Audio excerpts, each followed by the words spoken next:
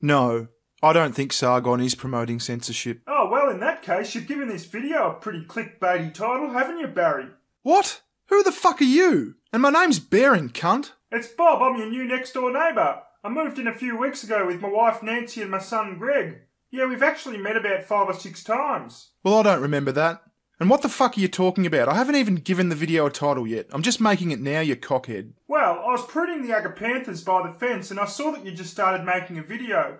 And when your first line was, no, Sargon's not promoting censorship, I put two and two together and figured you were doing a video about Sargon's petition about social justice courses in university. What?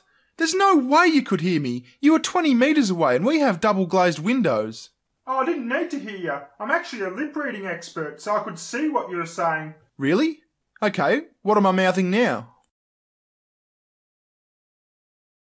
No, you cannot do that on my wife's chest. That's a bit inappropriate, Barry. It's bearing, cunt. Now fuck off. I've got clicks to get. Alright, well I better get back to these agapanthus. Nice chatting with you, Barry.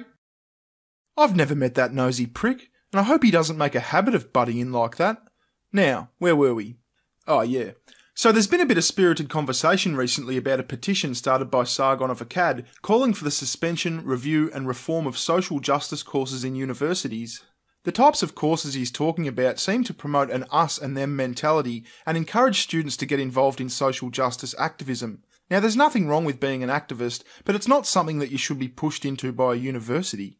And considering some of the bizarre things that we hear coming from these modern social justice types, I think some scrutiny is exactly what these courses need. Like, did you know that all white people are inherently racist?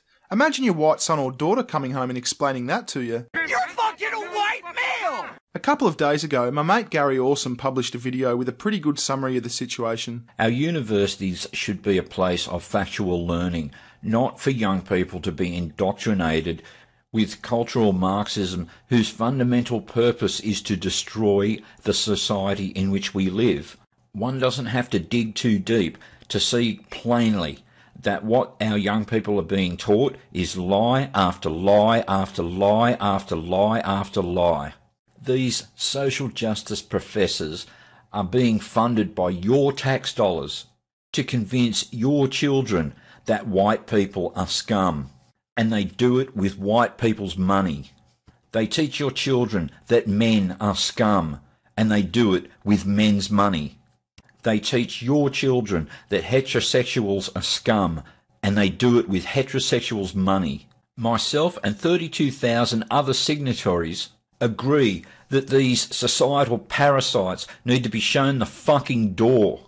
Thanks, Gary. So I'll be signing Sargon's petition today, and I encourage you to at least have a look at it and consider adding your name too. I've left a link in the description. Cheers.